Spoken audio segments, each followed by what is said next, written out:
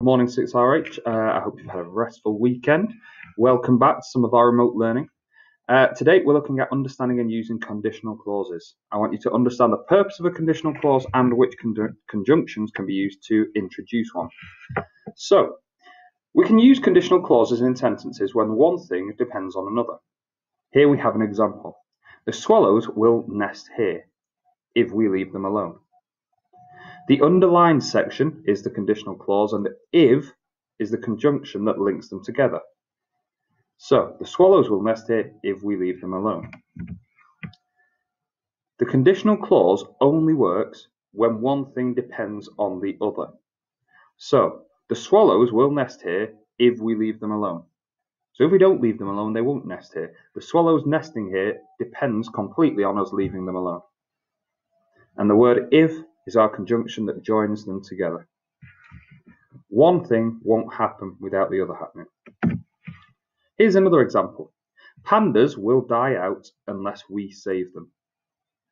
Okay, so their survival depends on us saving them.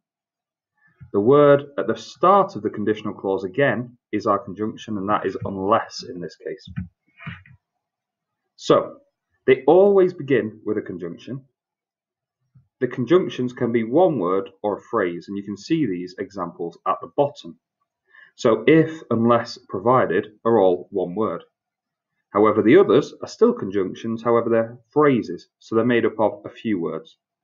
If only, only if, on condition that, as long as, providing that, and assuming that. Those are the conjunctions you're going to come across today. So if you look out for those words, they are going to introduce the conditional clause. Where you find that word, it will start your conditional clause in today's work.